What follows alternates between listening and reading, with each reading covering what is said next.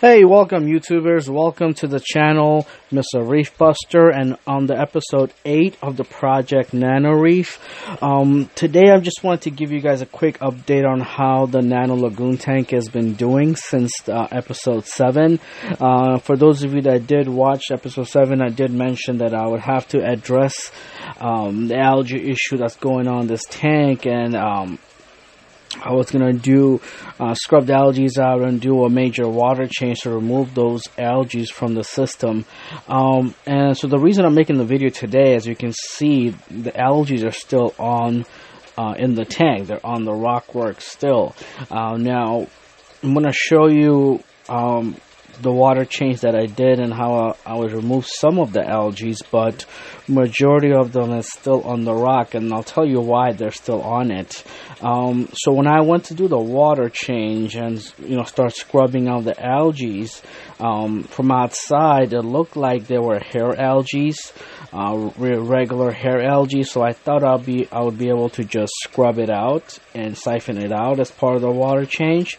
But when I actually got to um, doing the scrubbing and start to realize that it's not really re- your regular hair algae. These are actually turf algae. So the difference between regular hair algae and turf algae is uh, hair algae is, is just you know your hair algae, but they're not as strong. They don't stay on the rock as hard as turf algae do. Uh, hair algae, you can use a strong brush and you can brush it off uh, easily. But when it comes to turf algae, they're like really strong bonded algae that spreads on your rock, which is what I have apparently, which I realized when I went to do the water change. So, so you know, using a regular brush or anything to scrub it off, it would it's really not possible. Uh, only way to remove it is if you were to pick at it. You have to use get get in there with your hands and just pinch out all the turf algae from the rock substrate. Um, now, if you have a little bit, it's easily done, but in my case, since it's all over my tank, it would be a pin striking process for me to remove every single piece of turf algae on this tank. So that's why I only removed a little bit as much as I could with the limited time I had.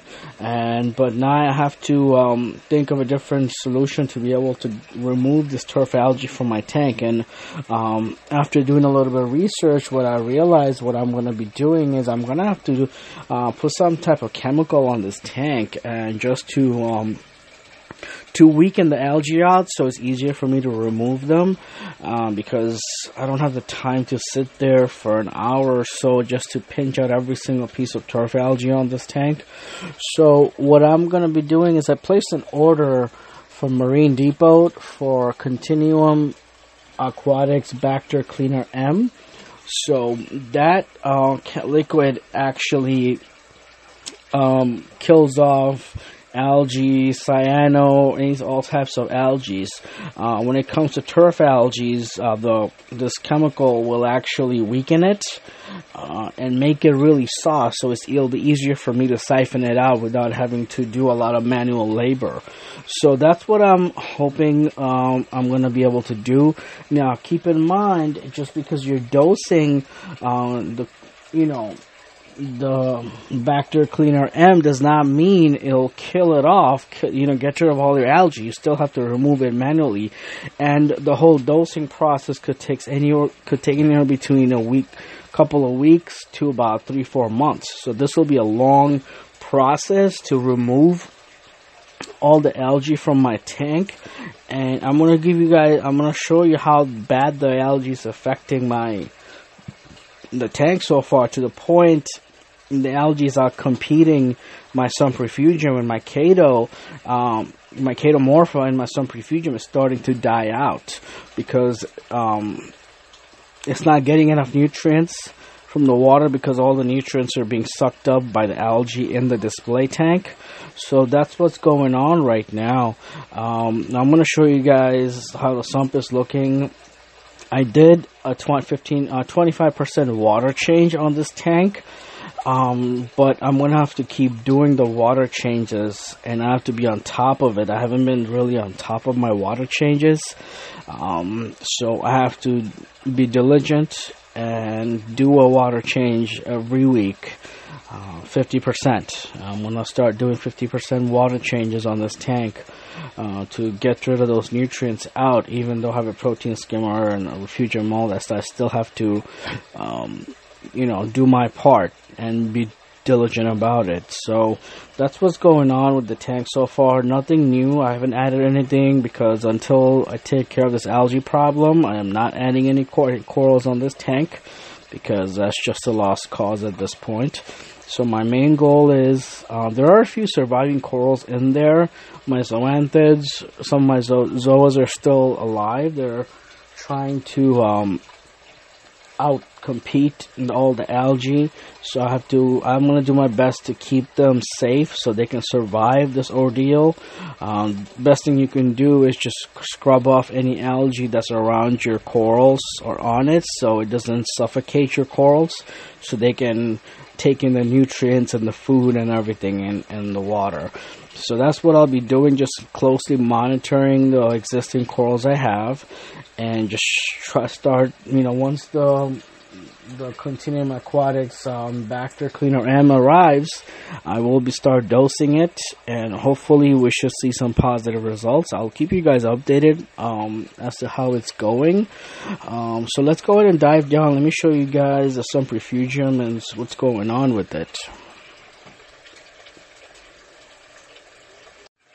So here it is, guys. This is the Sump-Refugium. Um, it looks a little bit cleaner. There's not many wires in front of it. I did uh, take some time out to do some cable management. Uh, at least get the wires uh, from the front of the Sump-Refugium, so I can I can have easy access to all the stuff in it. Um, so as you can see right in the middle, the chaeto, let me zoom in a little bit so you can get a better look at it.